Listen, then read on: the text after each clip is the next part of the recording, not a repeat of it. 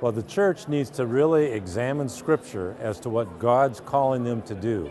Throughout all of the Bible, it talks about that God cares about the orphan, the widow, and the refugee.